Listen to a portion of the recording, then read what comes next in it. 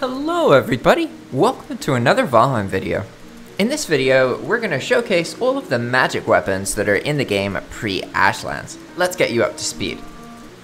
So far, there are four magic weapons that you can use, although the enemies actually have a bunch more magic spells. The four that we have so far are the Staff of Frost, Staff of Embers, the Skeleton, and the Shield. At the moment, here's what's available. Keep in mind, in order to upgrade them all the way, you'll need to use the two additions, one of which was added recently. The Staff of Embers starts out doing blunt and fire damage, and then it also catches the enemy on fire. Each level, it does a little bit more fire damage. The Staff of Embers, this is the most long range weapon, and you can actually mortar from far away if they sneak attack attack. Boom.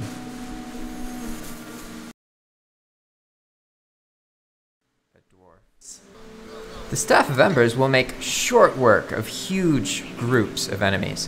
It's by far the most powerful weapon in the game at the moment, especially against enemies like goblins which group up. Make sure that you are aware of where the ranged enemies are, but really, as long as you get the fireballs off every couple seconds, the goblins are screwed, they don't stand a chance. The Staff of Frost is basically like a machine gun that slows the enemy down. It's more of a suppressive thing, as the Staff of Frost levels up, it does a little bit more damage. The Staff of Frost is a fantastic suppressive weapon, but it's much more appropriate to use it against individual enemies.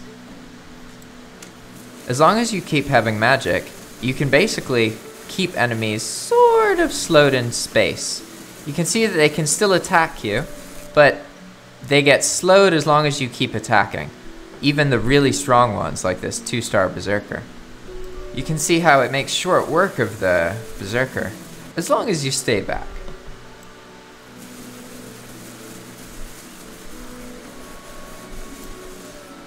Damage.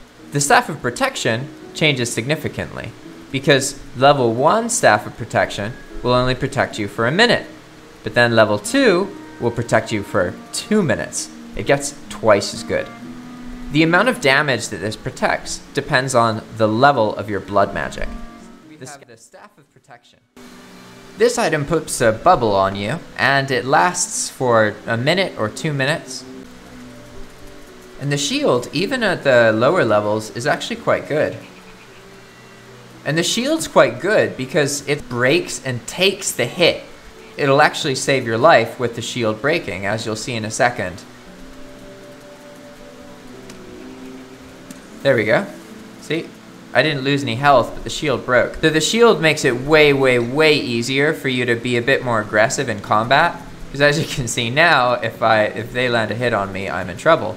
But because the Staff of Embers is supremely good at group combat, they'll just run and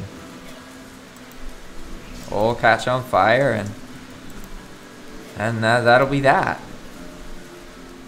The skeleton also upgrades. At first, with the level 1, you can only have one skeleton, but then with level 2, you can summon two skeletons.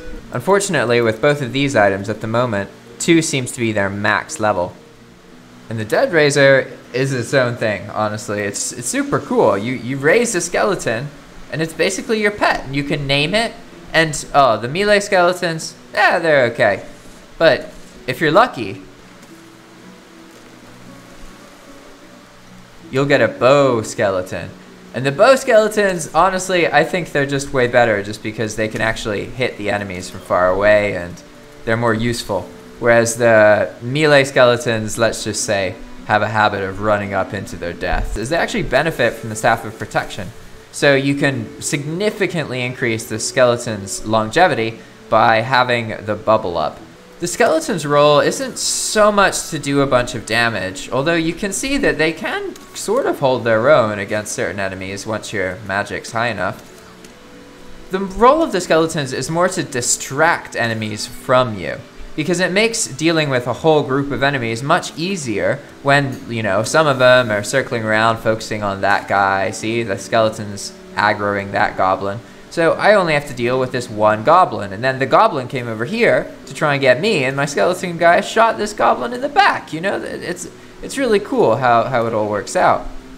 they're quite useful in a sort of suppressive supportive role.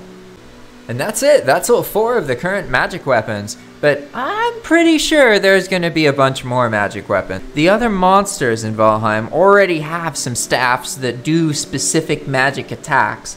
So if you want to learn more about Valheim or you want to check out my video about setting up your own dedicated server, check out my other Valheim videos. I've got a load of different content, all of tutorials about Valheim. I love making tutorials, it's really fun. So if you want a tutorial, then comment below and let me know. As always, thanks for watching, and I'll see you in the next one.